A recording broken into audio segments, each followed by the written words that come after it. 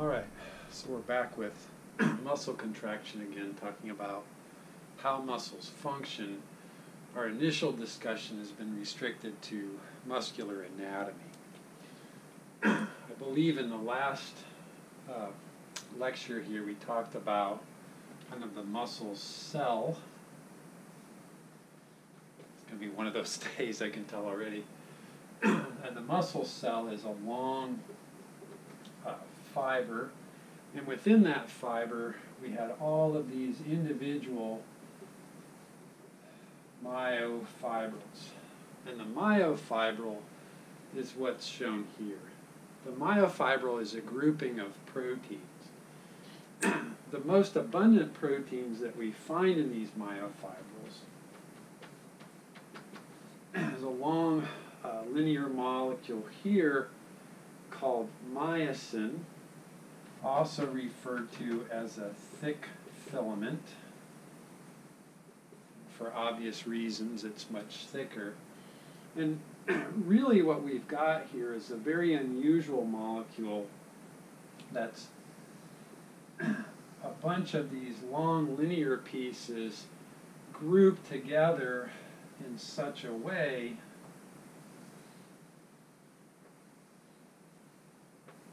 that you end up with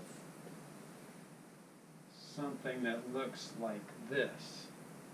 And a myosin thick filament here, these long linear pieces with these sticking out. these are called myosin heads, and here they're also called cross bridges. Okay? Myosin head, cross bridge, heads, cross bridges. Okay, the second molecule here that we find is another linear molecule. This one's called actin, also referred to as a thin filament.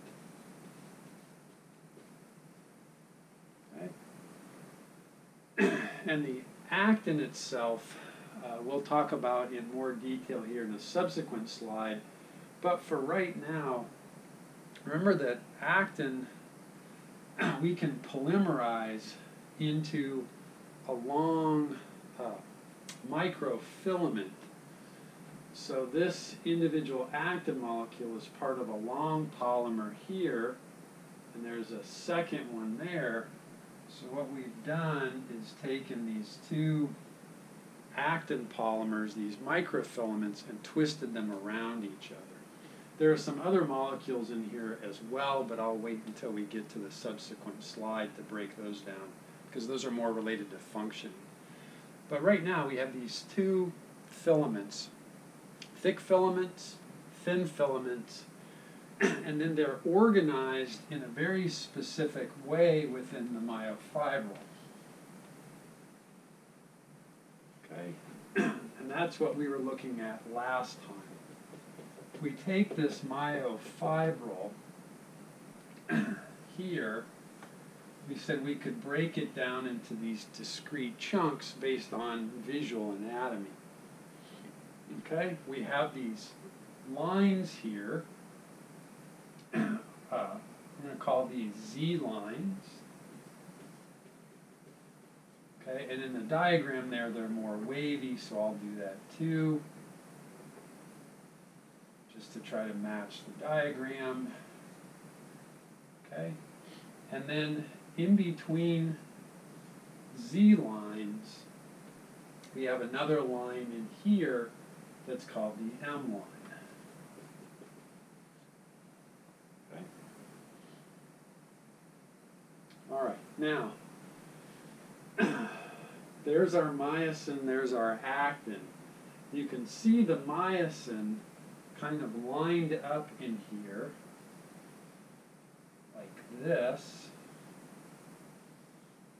with the heads right at the ends like this. So those are all those myosin heads, also known as cross bridges. so these are individual myosin right, the thick filament And then we have the actin molecules organized around all of this. So these are connected to this Z line. In red here, that's our actin. And go with a different color here, just to try to make this look a little nicer.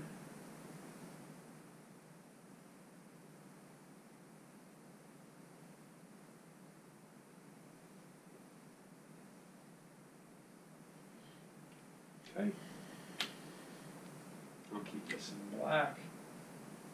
So that's actin. Okay, and then based on the way this is organized under the microscope, people name certain parts of it. So we've already got the Z line and the M line. But if we take this location here that just includes the myosin, right? That's called the A band. The A band includes all of the myosin molecule itself. The I band includes part that doesn't have the myosin. So here, this is I band. And then this part in here where there's no actin, this is called the H zone. Okay? Remember the first thing biologists tend to do is describe what they're seeing. So this initial description is trying to lay out the microscopic anatomy of the sarcomere. So remember we did that last time. this is the muscle unit. And this muscle unit called the sarcomere contains all of this material between the two Z lines. We have actin and myosin arranged in a very specific way against each other. We have a region of the sarcomere that contains the myosin, that's the A band, a region that lacks actin, that's the I, the H zone, sorry, the H zone. There's a line that's distinguished down the middle called the M line. And then lastly, this portion of the sarcomere plus an adjacent sarcomere that doesn't have the myosin, that's called the I band. And then you might ask yourself, well, of what use is this to anybody to do this kind of description of a sarcomere? Well, when people were first trying to describe what was happening with muscle, they laid out this description in terms of what these zones and bands were doing under contraction. So here at the top, there is my sarcomere between the two Z lines. There's the M line down the middle. That's the H zone. That's the A band. And there's the I band. Okay? This is what the muscle looks like actually under the microscope. You can see these very, very detailed areas. That has to be Z, Z, M. This is where all those myosin heads are, right? So this area in here, that's this A band, and then we have the H zone here, and then there's the I band. Okay, that's when the muscle's relaxed, it's not contracting. Then under contraction, what happens is stuff is going to move, and as it moves, it changes the way the sarcomere looks following these descriptions. So when contraction occurs, the A band, the length of the myosin, right, that's this length here, doesn't change. So that told people that the myosin thick filament itself is not contracting. It's not shortening, it's staying the same length. But what's happening is the H zone and the I band are reducing in size. And that's suggested to people that really what's happening is the myosin and the actin are sliding across each other in such a way that you can shorten the M line and the I band without changing the length of the A band, right? Without changing that length. That meant that these two filaments, the thick and the thin filament, were actually sliding across each other. So what we're going to do now is talk about how that's accomplished on a molecular level.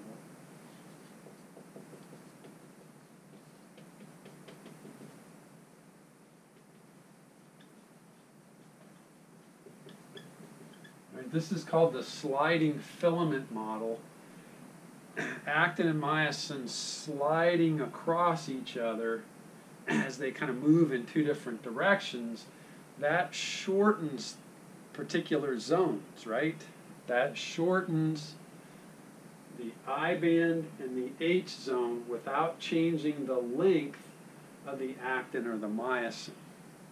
Okay?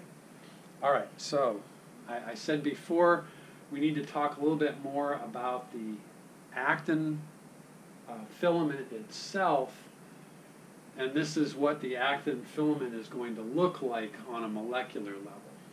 So we still have these individual actin molecules, but they're part of two microfilaments that again are twisted around each other.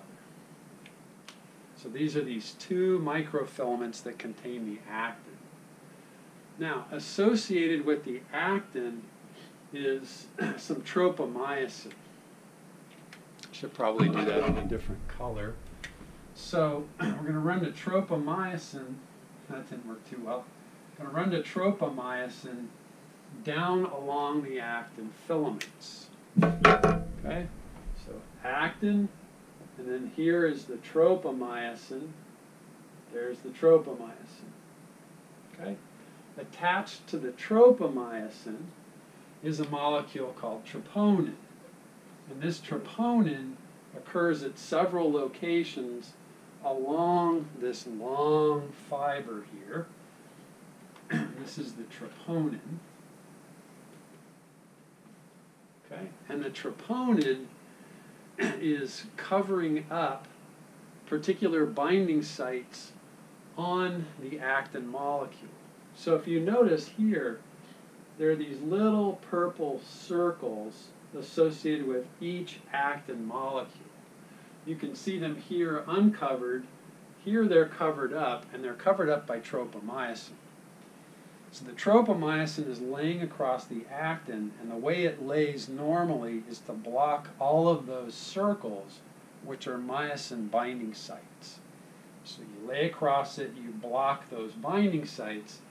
That prevents the myosin from interacting with the actin.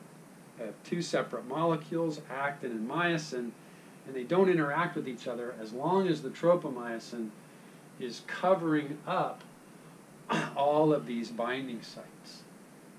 Okay? Now, on the myosin molecule itself, we looked at just one of these pieces here, remember we called these heads or cross bridges. these heads are able to bind to these actin binding sites if they're exposed. They can't bind in this portion because they're covered up. Okay?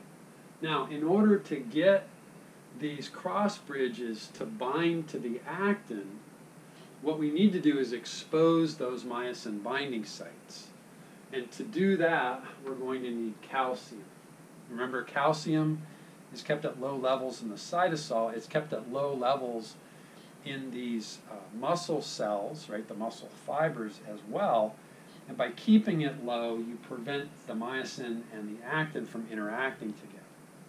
If you allow calcium into the cytosol, that's high cytosolic calcium, the calcium binds to the troponin, the troponin changes shape and pulls those tropomyosin fibers off of all of these actin uh, sites. now these sites on the actin are exposed, and the myosin cross bridges can interact with those myosin binding sites. Okay? So it's possible for actin and myosin to interact together. They interact at these binding sites where these heads or cross bridges bind, but that only happens in the presence of calcium. Calcium is required to get the troponin to change shape to pull the tropomyosin off of the actin. Okay? All right, let's take a look at it in a little more detail, and then we'll do a little more detail. Right, here's my myosin. They're calling these myosin tails and myosin heads, right? Tails here. okay. There's our interaction. This is what's happening at the level of the sarcomere whenever calcium is present. We get this cross bridge mechanism kicking in. Here, the myosin is not interacting with the actin. Here, there is interaction. In the presence of calcium, the myosin is bound to the actin, and look at the position of these heads. These cross bridges or heads are in this position without calcium, but notice how they're drawing them here in the presence of calcium they're twisted a little bit.